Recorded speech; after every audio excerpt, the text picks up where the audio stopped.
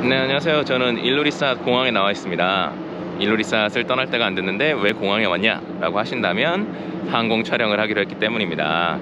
제가 이번 촬영 작업을 위해서 드론도 가지고 오긴 했지만 어, 드론의 한계가 있기도 하고 제가 촬영하고 싶은 그린란드 내륙에 거대한 빙하들이 있죠. 거대한 얼음들이 있죠. 그 얼음을 촬영을 하려면 굉장히 거리가 먼데 어, 거기를 닿기 위해서는 비행기나 헬리콥터로 가는 수밖에 없습니다 원래는 헬리콥터를 타고 촬영하려고 했는데 헬리콥터가 제일 좋죠. 제가 이제 문을 떼서 더 편하게 촬영할 수 있는, 있는데요.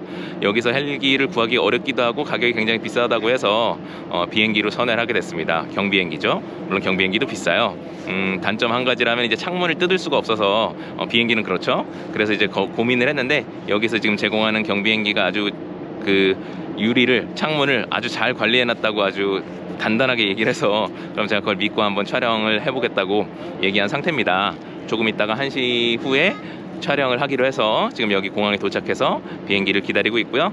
어, 어떻게 될지 모르겠지만 어떤 지금 날씨가 워낙 변화무쌍하니까 어떤 모습을 발견할지 모르겠지만 어, 제가 담고 싶은 사진이 있어요. 제가 지금 생각해 놓은 게 있기 때문에 그 사진을 꼭 담을 수 있으면 좋겠습니다.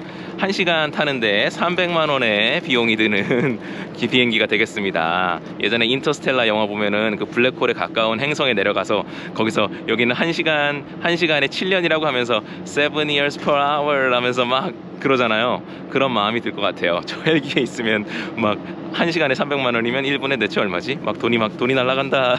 막 이런 느낌이 들 것 같긴 한데 음, 그 돈이 아깝지 않도록 좋은 사진을 담아서 여러분들에게 보여드리겠습니다. 그린란드를 하늘에서 만나보죠. 갑시다. 네 바로 이 친구 이 비행기를 타고 이제 떠나겠습니다. 어, 작은 비행기인데요 이태리 알프스에서 그 산악 사고 할 때 이제 구조하는 데 쓰는 그런 비행기라고 해요.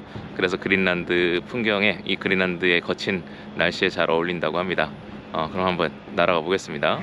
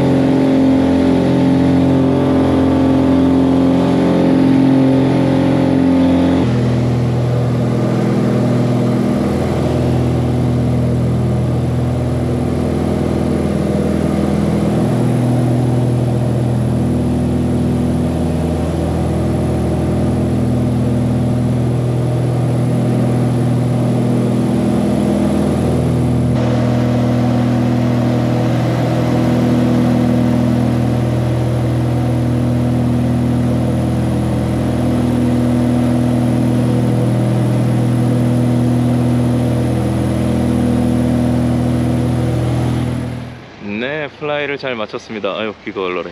네. 아, 날씨도 생각보다 정말 너무 좋고 너무 아름다운 풍경들을 만난 것 같아요. 제가 사진으로 담은 것을 곧 보여드리겠습니다. 돈은 그냥 막 펑펑 날아갔지만, 아, 막 속이 쓰리기는 했지만, 1분 1분, 어, 너무 소중한 시간이었습니다. 사진으로 보여드릴게요.